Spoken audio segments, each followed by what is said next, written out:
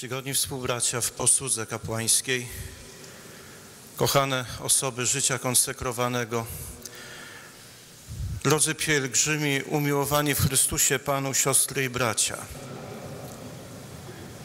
W Niedzielę Bożego Miłosierdzia, co roku zresztą, Kościół każe nam czytać fragment Ewangelii zaczerpnięty od świętego Jana. Mówi ona o dwóch wizytach, jakie Pan Jezus złożył swoim uczniom już po zmartwychwstaniu. Pierwsza miała miejsce w dniu, kiedy żywy powstał z grobu.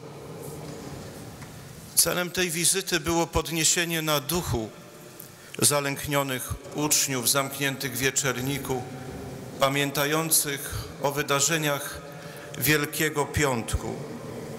Pan Jezus stanął pośrodku nich i powiedział im pokój wam. A drugi raz Pan Jezus przychodzi do uczniów po ośmiu dniach. Tym razem jest z nimi Tomasz, którego zabrakło w dniu zmartwychwstania w wieczerniku. Jest Tomasz, który nie dał wiary zapewnieniom innych apostołów, którzy mu mówili: Widzieliśmy Pana. Nie wiadomo, gdzie się podziewał Tomasz w dniu zmartwychwstania. Możemy się zastanawiać, dlaczego postanowił odłączyć się od pozostałych. Być może nie chciał przebywać w towarzystwie zawiedzionych i rozgoryczonych apostołów. Tego do końca nie wiemy. Faktem jest jednak, że nie było go z pozostałymi, gdy Pan Jezus objawił im się po raz pierwszy. Nie otrzymał daru pokoju, z którym przyszedł do nich Pan Jezus i nie doświadczył w niedzielę zmartwychwstania, zadumienia i radości. Z pewnością jednak zaintrygowała go ich widoczna przemiana. Jeszcze niedawno tak zalęknieni i pogrążeni w smutku, dziś mówią, widzieliśmy Pana. I choć Tomasz nie dowierza tym słowom, idzie za nimi, wraca do wieczernika, by sprawdzić, czy Jezus rzeczywiście żyje. W świadectwie apostołów słyszy coś, co go porusza, co każe mu zweryfikować jego niezachwianą dotąd pewność, że wraz ze śmiercią Pana wszystko się skończyło. To Jezusowi wystarczy. Przychodzi do Tomasza mimo drzwi zamkniętych i pokazuje mu swoje rany, cenę swojej miłości do człowieka. I mówi mu: Nie bądź niedowiarkiem, ale wierzącym. Tomasz może dotknąć przebitych rąk, może dotknąć przebitych stóp, może włożyć palec do boku Jezusa. I oto dzieje się coś niebywałego. Sceptyczny uczeń, kwestionujący świadectwo apostołów i pisma proroków, woła słowami, które są jednym z najpiękniejszych wyznań wiary na kartach Ewangelii mówi Pan mój i Bóg mój. Pan mój i Bóg mój.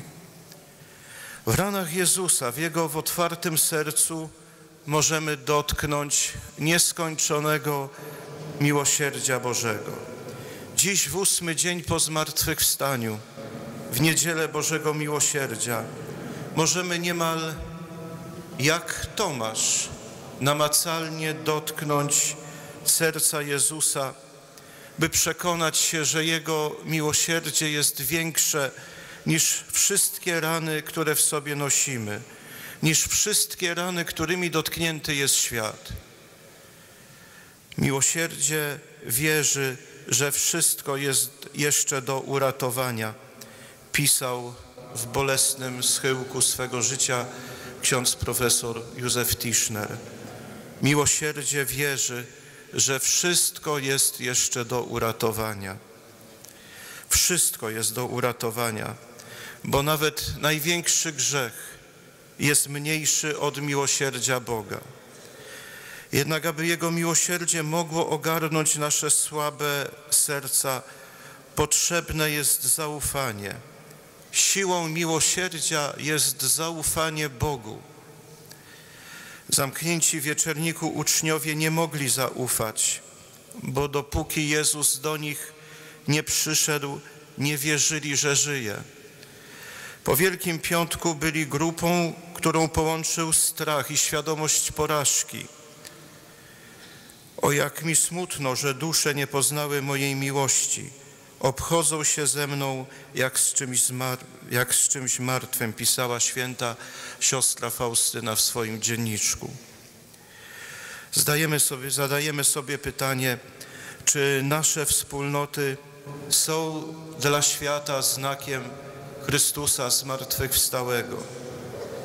Czy może raczej przypominają grupę zatrzaśniętych w swoim strachu apostołów? Czy mówimy światu z mocą i radością widzieliśmy Pana? Czy też zamykamy się w twierdzach zbudowanych z lęku i niepewności? Czy spotykając jak Tomasz Jezusa żyjącego, pozwalamy Mu dotknąć naszych ran i przemieniać nasze życie?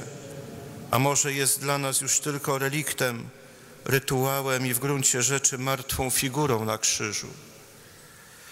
Nie doświadczymy Bożego miłosierdzia, jeśli zmartwychwstanie Jezusa nie jest dla nas rzeczywistością tak prawdziwą i oczywistą jak życie. Zmartwychwstały pyta nas, jak pytał Tomasza, o naszą wiarę. Być może współcześni sceptyczni Tomaszowie odchodzą od Kościoła, bo jak mówi papież Franciszek, wydał się zbyt słaby, zbyt daleki od ich potrzeb. A może to świat uczynił Kościół reliktem przeszłości, niezdolnym do odpowiadania na nowe pytania, mówi Franciszek. Kościół żyjącego Jezusa nie jest reliktem przeszłości, ale jest znakiem miłosierdzia, jest znakiem miłosiernego Jezusa. Świat dzisiaj stawia chrześcijanom pytania o wiarę i domaga się jasnych odpowiedzi. Te pytania stawiają nam ofiary przemocy, ofiary chorób, wyzysku, niesprawiedliwości.